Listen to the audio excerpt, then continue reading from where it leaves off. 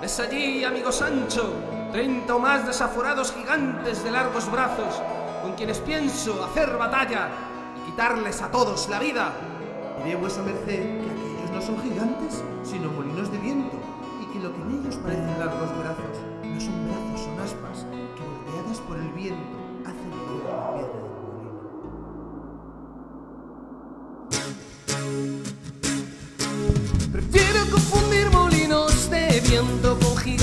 Que me acechaban. Prefiero morir de amor, aunque no conociera mi amada. Prefiero imaginarme cosas, aunque a otros les parezca una bobada.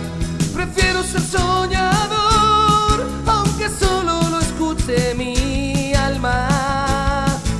Prefiero perseguir algún ideal que morirme como casi nada.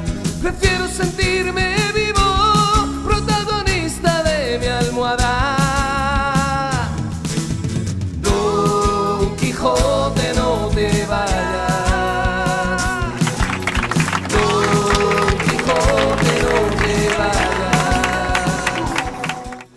Teatro Bus es un, es un proyecto que nace de la idea de aportar nuevas cosas a la sociedad en la, en la que vivimos, pero nace de, de haber fusionado o combinado en diferentes, en un único concepto, pues cosas tan distintas como puede ser el transporte, el turismo, el arte, la literatura, pero sobre todo de las ganas de innovar.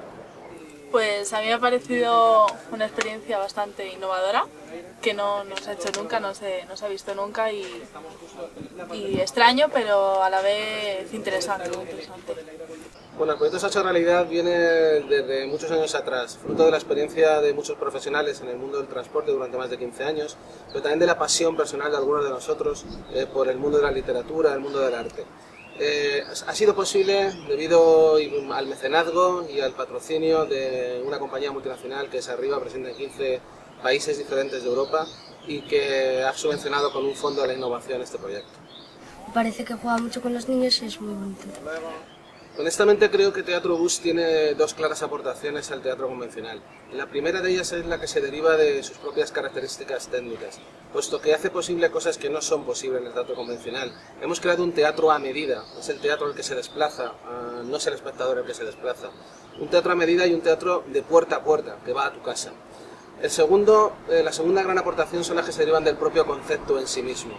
Eh, la ubicación del escenario dentro del autobús, la idea de movimiento, hace que la interactuación, la interactividad, eh, vivir con los personajes, con los actores, sea algo que, que no es posible en otros formatos. Es una road movie, más no es ir al teatro, es vivir al teatro, es una aventura teatral.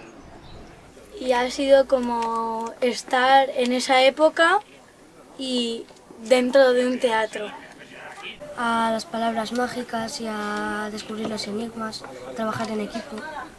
¿Cómo el actor se, eh, se ponía en la época, pero luego trataba de ser como daba un aire así futurista? Por un lado, la genialidad, la universalidad de Don Quijote representa los ambiciosos eh, objetivos que tiene este proyecto.